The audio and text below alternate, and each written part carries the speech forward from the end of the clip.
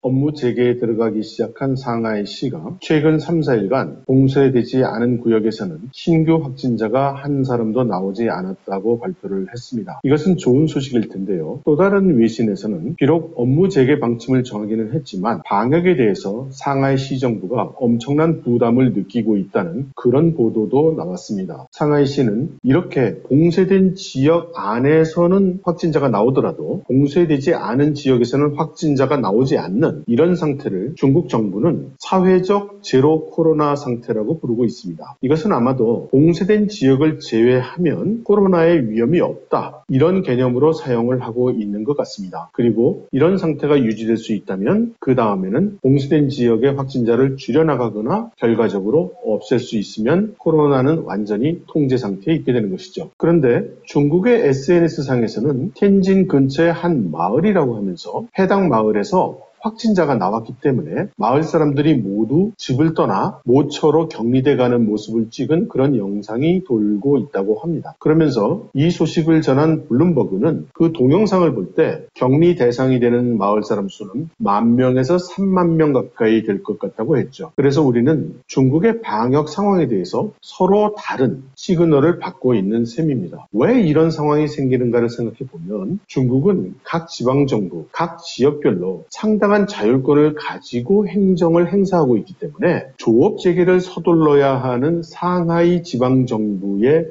방역 태세와 조업 재개보다는 새로운 확진자가 나오지 않도록 하는데 중점을 두는 이런 지방 마을의 행정 태세가 서로 다르기 때문일 것입니다. 여러분 참고하세요.